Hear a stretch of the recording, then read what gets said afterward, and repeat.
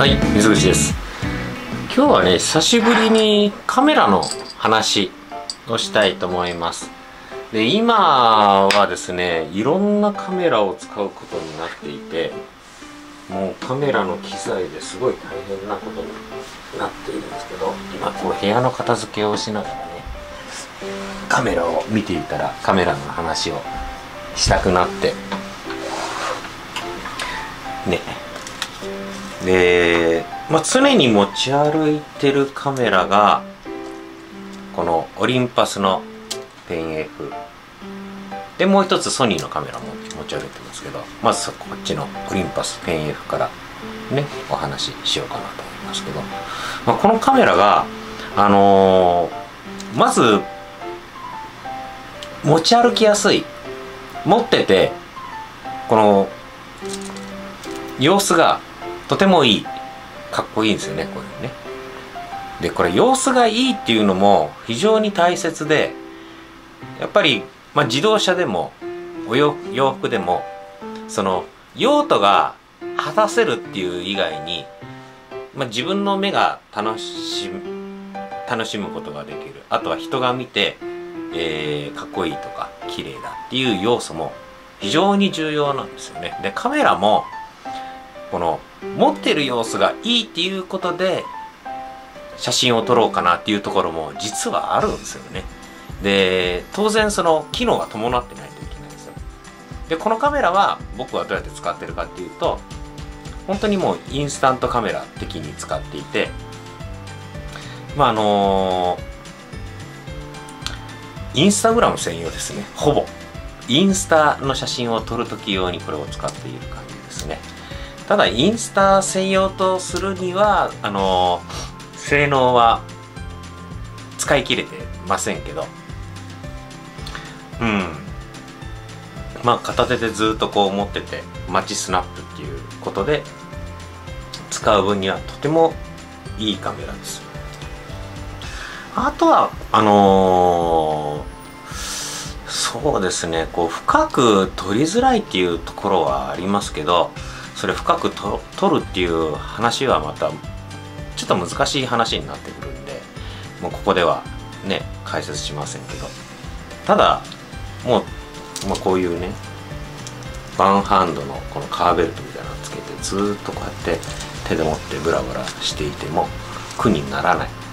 こうカバンをね背負って街を歩きながらずっと片手はこうやって持っていると。僕の性格上何か手に持ってるっていうのが好きなんですよね。で点持っていてなんか見つけたらもうファインダーも覗かずにこうカシャカシャカシャカシャカシャカシャカシャカシャカシャカシャカシャって撮るのが好きです。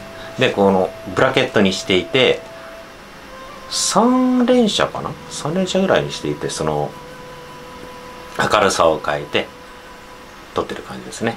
あのー、通常ちょっと暗めちょっと明るめの3枚。を撮ってる感じです。でこのカメラも Wi-Fi 機能が、まあ、最近のカメラはほとんどついてますけど Wi-Fi 機能がついていて、えー、スマホとねすぐ連携してスマホにデータを送れるんですよ。で例えばしばらく撮ってカフェとかどっか座った時ご飯食べる時とかねそういう時にインスタにあげると。もう忙しいですね。日常が。インスタをやらなきゃいけない。やらなきゃいけないんですよね。これ仕事でもあるんで。ね趣味でやってるわけでもないんで仕事になっちゃってますけど、インスタ。あとまあフェイスブックにも使ったりしますけど。ほとんどこの写真はインスタ用ですね。うん。でレンズはえー、12mm の F2.0 明るいレンズを使っているのでこうですね。映るかな、ね、非常に綺麗には撮れます。重さはねどれぐらいありますかね。結構軽いですよ。明かりえー、明かりを買っちゃいましたもう非常にこう散らかっていて物がどこにあるんだか。片付けないといけないですね。今までここ測りあったんですけどね。測りが測りがないですね測りが。えー、これでねああったあった。ね、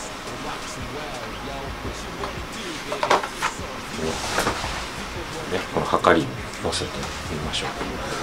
結構軽くて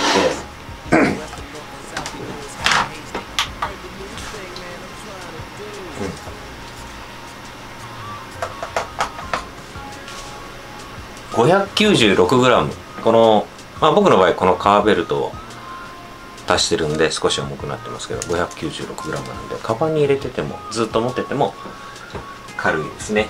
でもう一つ持っていっている持ち歩いてるのがまあ大抵は α9 かね今撮影してるこのカメラ。このカメラ α7R3 ね。ですね。どちらかを持ち歩いてるという感じです。で今カメラに入っている、えー、今バッグに入っているカメラが α9 で、えー、2470の標準ズーム。F2.8 がついてる。このこの組み合わせに非常に綺麗に撮れて写真もあと動画もねすごく綺麗に撮れるからでも重宝してるんですよね。で今この撮影している、えー、この動画を撮影している 7R3 と、えー、レンズがね1224の F4 っていう広角レンズもすごくこう使いやすいんだけどこの2.8のレンズにはかなわないですよね。その画角が違いますけどこの2.8のレンズが本当に非常に綺麗に撮れると。うん。まあ綺麗に撮れすぎて最近ソニーのカメラどうですかっていう話をする時にみんなに言うことですけどこのソニーのカメラはファンタジーを撮ります。うん。綺麗に撮りすぎるというか違う世界を撮ってるところがありますね。まあ設定によりますけど通常の僕の僕はそのいろんな効果を与えないノーマル状態で撮影してもうんなんか光を増幅ちょっとしてるんですかね。増長してるのかわからないですけど増幅増長。似たような言葉ですけど。うん。ァンタジーを撮るカメラなのかなと思ってますね。まあそういう意味ではそれがいいいい場合もあるしね強調しすぎだろうっていう場合もあるんだけどまあ写真って違う世界を覗くためっていう部分もあるからもうファンタジーを撮るっていうふうに思ってればこのカメラの存在意義もありますよね。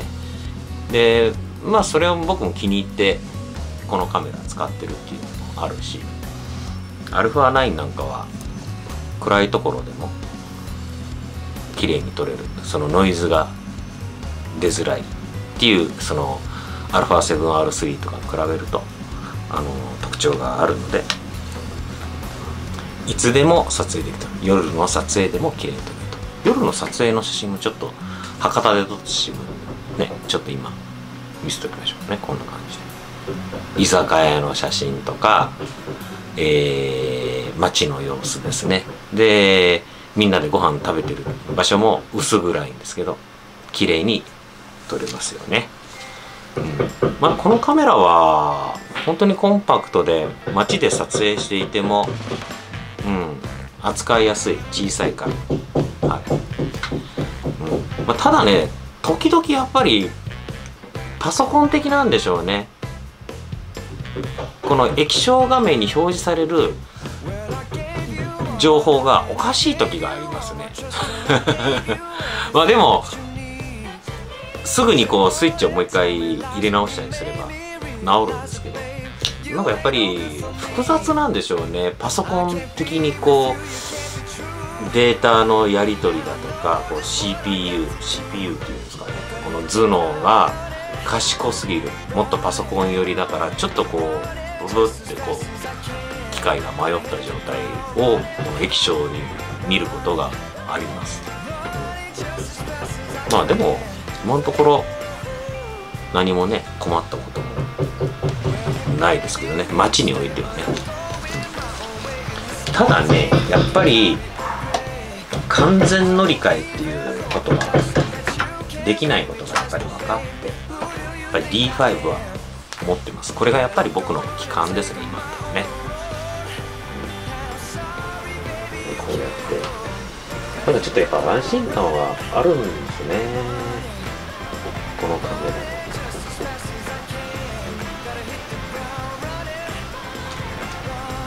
マニュアルモード最近ね使ってないからね。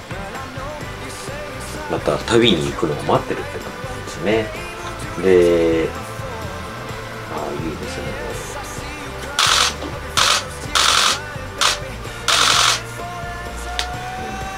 あれそうだ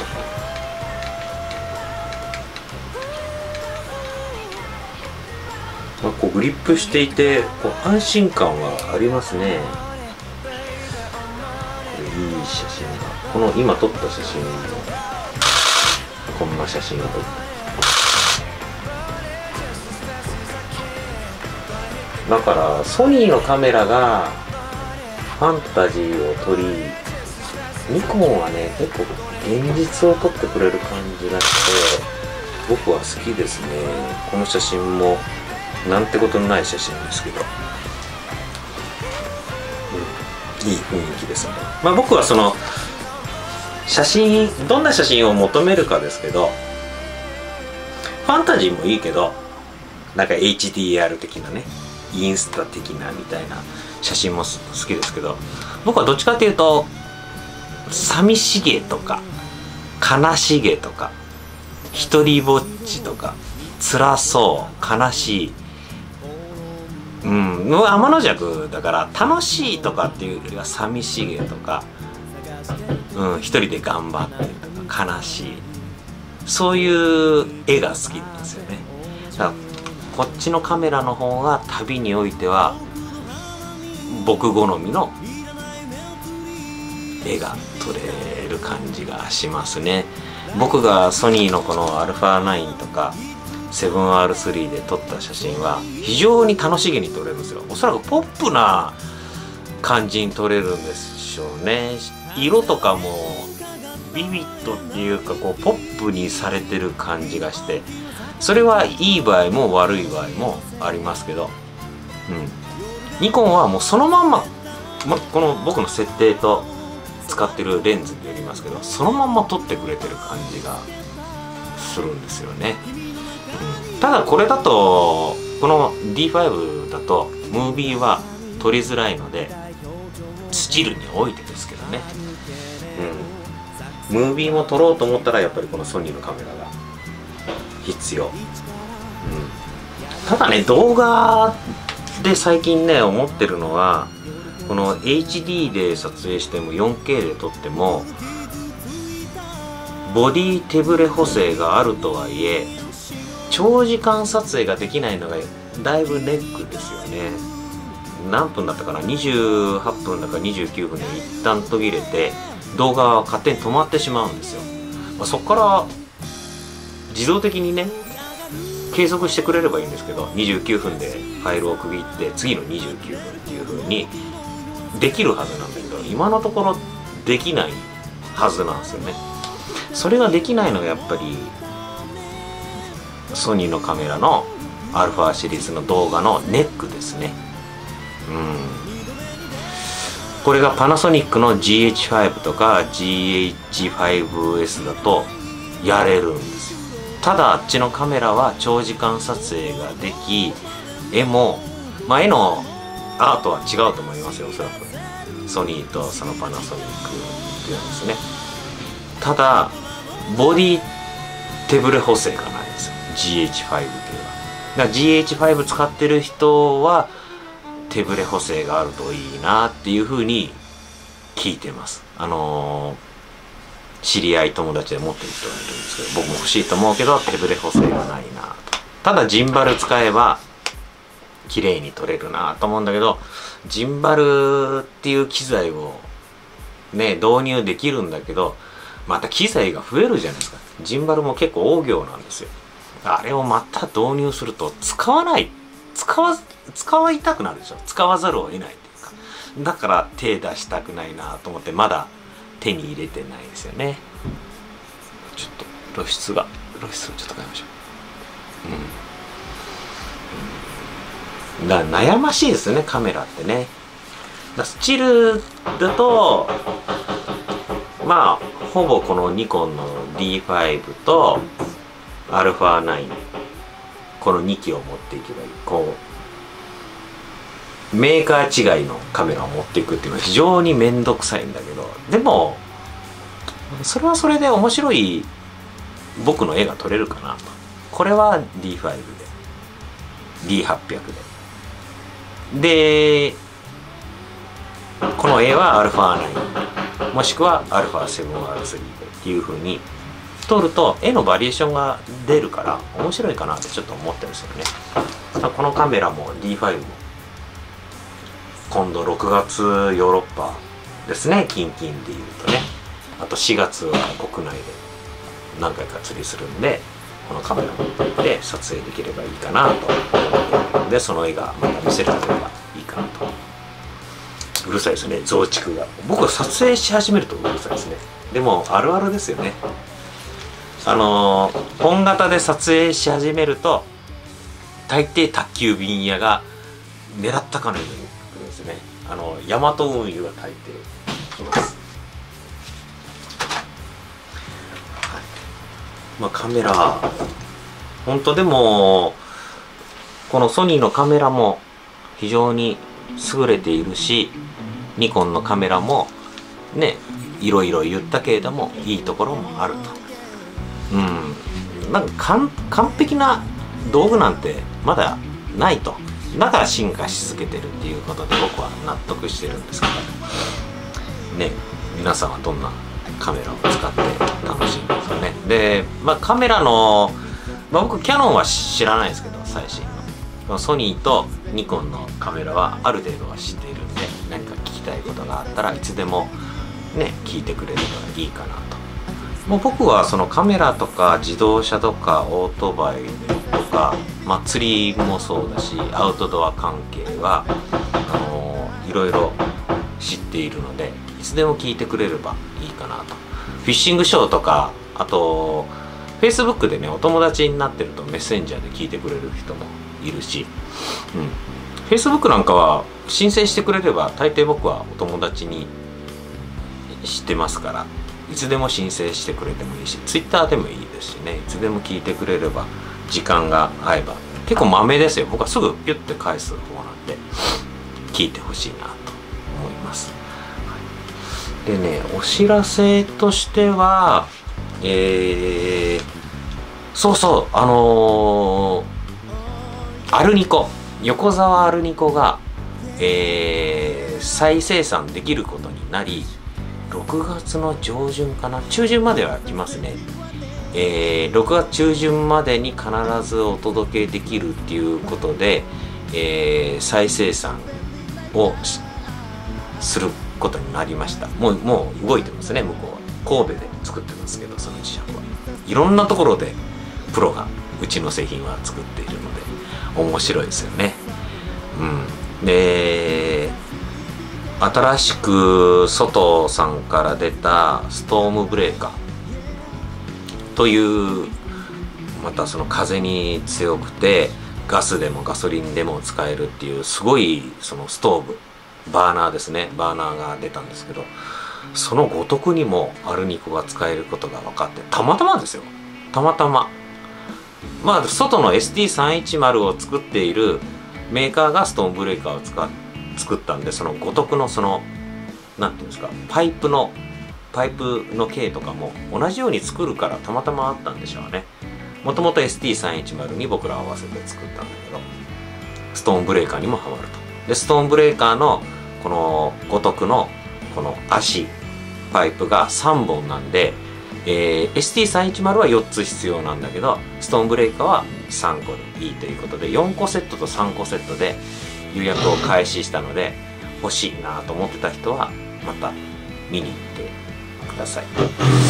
ねえー、さっきねいろんなところで作ってるって言ったんだけど、まあ、いろんな人がね声かけてくれたのとあとは僕が作ってくれませんかっていうことで、うん、やり始めたことがねやっぱり一番その製品を作るのに得意なところがね作ってるから面白いですよね。香川が手袋。えー、和歌山が和歌山奈良だ奈良が靴下。奈良靴下ね。春物が出ましたね最近ね。また今日も履いてますけど非常にいいです。でタオルが今治。でデニムは岡山、うん、で変更グラスのフレームは鯖江。ね。えー、革物は群馬。まあ僕は、まあ、イタリアンレザーを使ってるんですけど。構成とかは群馬っていうようなところもまた新しいものちょっと作ってるんですよそれまた群馬っていうキーワードが出てきますけどねそういうことでいろんなところでちなみにコーヒーは出雲大社のそばそばで作ってる神様の近くで作ってますよ島根県ですねでそのコーヒーもねあの昔から知っているそのファッションモデルさん男性のファッションモデルさんと知り合いでそのモデルさんがうちの製品ちょっと使ってくれたりしてたんですけどその人がコーヒー屋さんを知ってたんですよ。焙煎屋さんですね。でいう僕もねそのコーヒーブランドを作りたいと。コーヒーをね焙煎をまず始めるところからスタートしたいんだけどその焙煎屋さんに話をしてくれないって言ったらその焙煎屋さんがアウトドア製品も扱ってて横澤鉄板を売ってくれてるとこだったんですよ。そしたらもう話が早いですよね。ああそうですか。もうそしたらぜひ作らせてくださいみたいに言ってくれて。それで、えー、どういうものを作りたいかってお話ししてから大体ね7ヶ月8ヶ月ぐらいかかったかなぐらいその豆をやり取りしてああ僕が飲んでその向こうが作焙煎してくれた豆を飲んで飲んでいやちょっと違います。もうちょっとこうしてくださいこうしてください。ねもうちょっと甘くしてくださいとかそういうことですよ。酸っぱくしてくださいとかもうちょっと香りをこうしてください。そういうやり取りをして生まれたのがあの冒険コーヒーなんですよね。今2種類の焙煎で出てますけど、まあ、もうあとちょっとしかないですね。でまた再生産をかけたいなと思ってるところですね今ね。でいろんな春物もまだ撮影してませんけどワッフルだとかあとはナミさんの飛び魚 T シャツイベントで売ったやつですね。とか靴下も出したかな。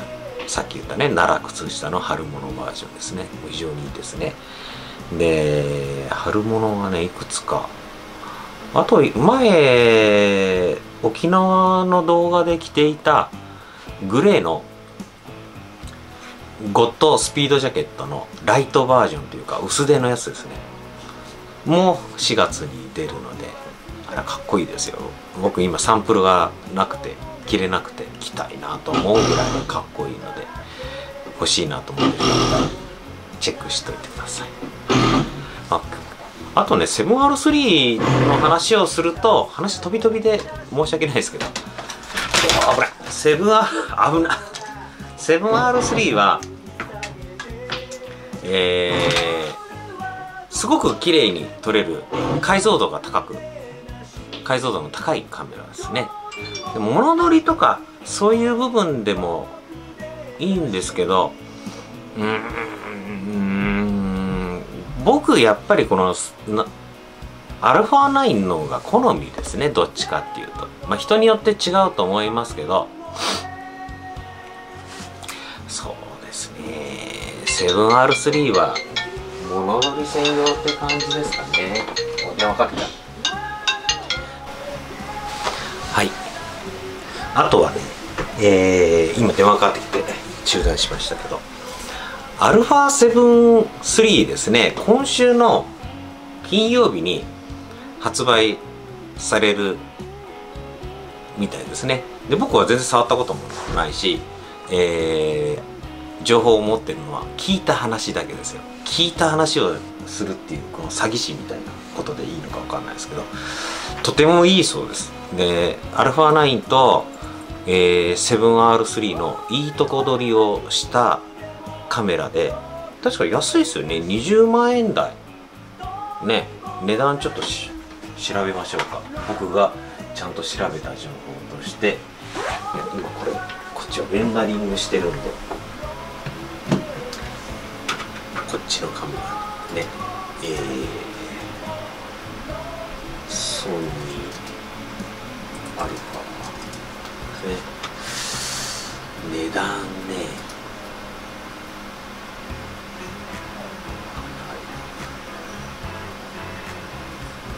うんうんうん。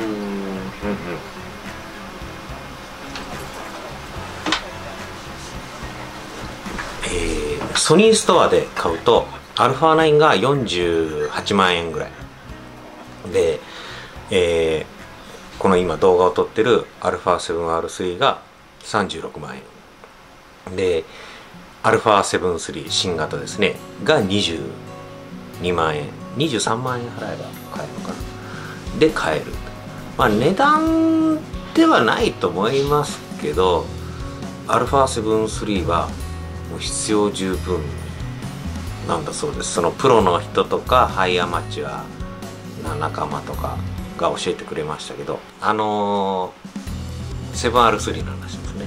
えー、ニコンのプロのカメラマンから聞いた話。あのソニーのカメラも最近使い始めたみたいでその人が言うにはあの α7-3 かな。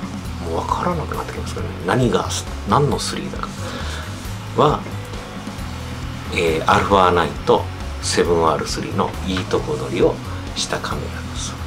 ソニーのプロカメラマンは今のところ僕誰も知らないので詳しい人から聞いたまあその人すごい詳しいみたいですけど話ではとてもいいそうです、まあ、でも僕がそのカメラを買うことはなさそうですけどね。もう α9 カメラを持ってるし 7R3 で十分かな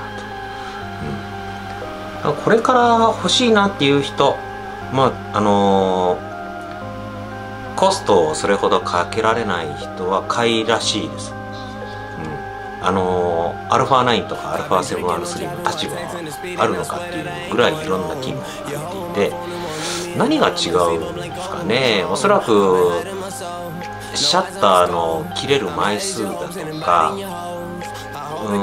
あとはオートフォーカスの追従度とかそういうところが違うぐらいなんだと思います。また始まりました。今増築中なんで撮影し始めるとですねまあこんな感じかな、はい、またカメラの話を思いついたらやっていきたいと思います。